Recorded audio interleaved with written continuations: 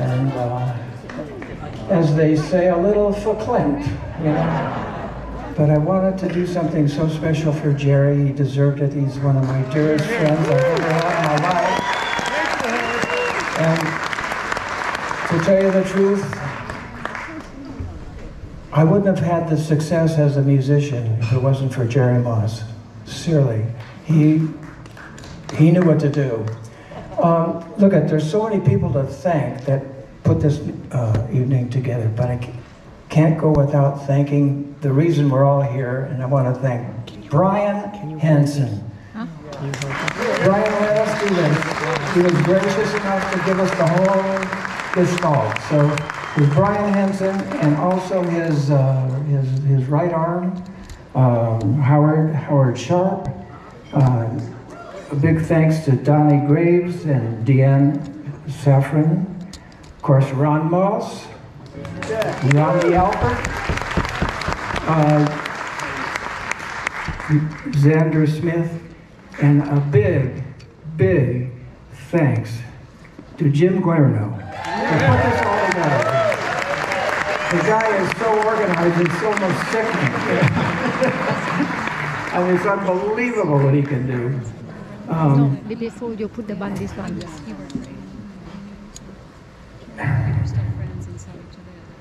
Jerry was a, a real special person for me. I met him in 1960. He, he drove from New York to Los Angeles in his Volkswagen bug and um, landed here. Uh, and shortly after he arrived, this guy was friends with all the important disc jockeys and programmers and all the major uh, radio stations in LA. Sorry, I didn't mean to do that here. Um, and so we became friends. I loved him, man. I, I, immediately, he, he was kind, he was easy to be with, he was fun to be with. And um, he wanted me to help him do this record with um, an actor friend of his, Charlie Robinson. And I, I, think I played trumpet on it and helped him produce it. And then I had, at the same time, I had a record called Tell It to the Birds that um, we decided to release both those records at the same time. So Tell It to the Birds became a moderate hit in Los Angeles and uh, San Francisco.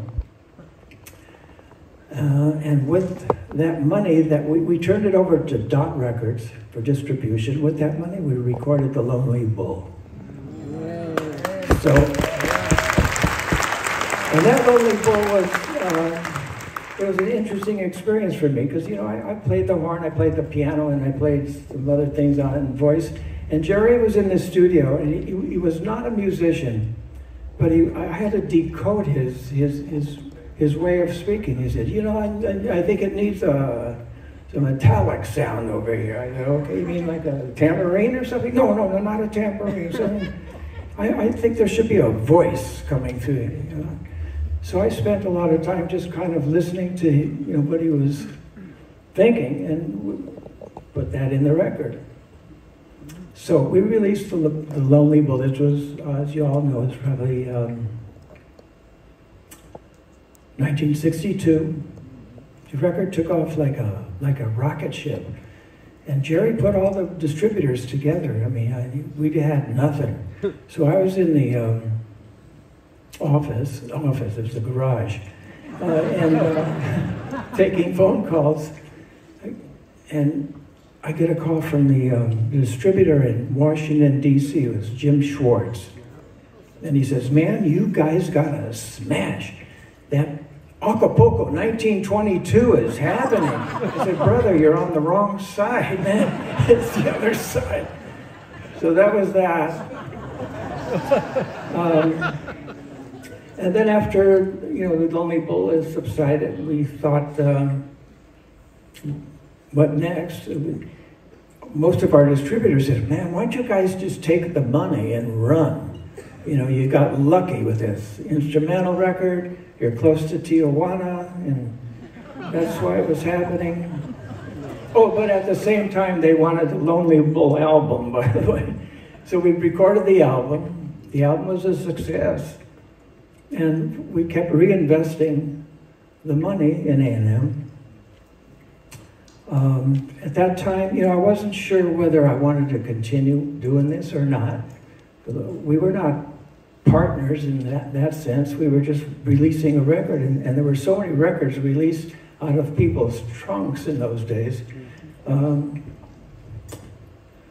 so, did the album, and we had a couple artists that we invested in that didn't do anything, didn't do much. And, and then in 1964, we signed Waylon Jennings. Yeah. And this, I'll, there, I'll tell you, there were two pivotal moments for me with A&M and with Jerry. This was one. Um, I recorded a record with him called Four Strong Winds. Chet Atkins heard this record and made some comments to uh, Waylon that he'd like to talk to him after he gets out of his contract. Jerry and I both wanted to take Waylon a little bit more pop than he wanted to be. Um,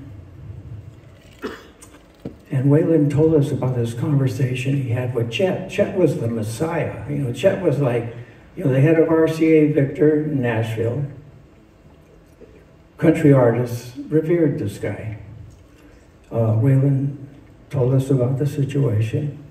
And Jerry and I thought it'd be nice to let him out of the contract and let him go sign with Chad. Um, so we had an office on Sunset Boulevard before this facility. And um, Jerry signed the release. I was with him. I looked at Jerry and said, this guy's going to be a big artist. And Jerry said, I know it. At that moment, I realized if, I, if we can be that honest with artists, we'd be a big success. Yeah. That, that was the first thing that happened. And then um, we kept reinvesting the money that the Tijuana Brass brought in. Um, and then we I recorded the Whipped Cream album.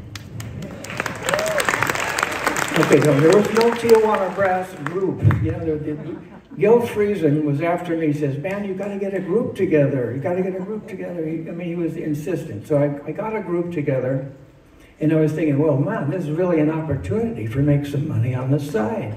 Because I mean, we were just supporting A and M, and I thought, well, "Hey, maybe maybe the record business is not for me. Let us let me think about something else." So. Um, the kind of Jerry got the wind that, you know, I was going to do this and maybe branch off. And he said, I'd like to have lunch with you, you know? To talk about something. So I had lunch with Jerry and he said, you know, I think it's fair if we share in everything. I'd like to be 50-50 partners with you in everything we do. And I was thinking about what I had just thought about, you know, making money on the side. Um, I'd like to be 50-50 partners with you.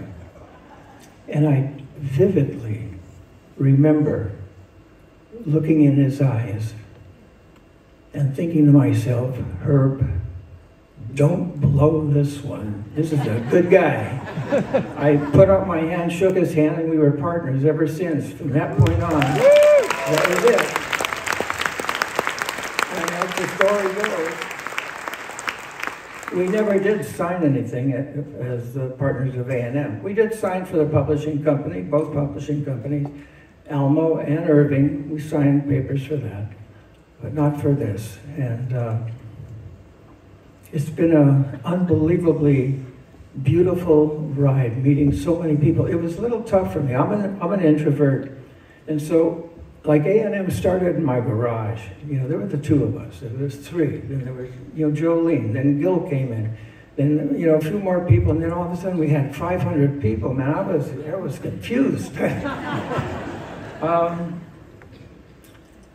but I am so proud of what we have accomplished. I'm so proud of this man who was Jerry was. Uh, he was he was elegant. He was honest. He was real. You know, he was. Do I need a seat? Do I look like I'm ready to pass out here? No, I am a little flippant though. I feel I, I feel after walking through the sunset and seeing all these pictures and see all the things that happen. and Man, uh, where'd the time go? Man, uh, it's like all of a sudden I'm. Well, I, we, you know, Lani and I do a lot of concerts, and in concert, I, I tell everyone that Satchel Paige once said, "How old would you be if you didn't know how old you was?" You know, I'd be 63. I say 63, and the audience laughs, and I say, "What are you laughing at?" Anyways, I feel I feel darn good that I'm able to be here. I'm so glad you are all here, and you've said so many nice things. And uh, I don't know if you all know it, but there's dinner being served outside, and full dinner, and I guess that's about all I can think of saying. Let's see. Okay, yeah, no. So, in 1990, we did sign the, the release of um, on, on the polygram poly, polygram contract, and it's true. Jerry and I hugged each other. I love that guy.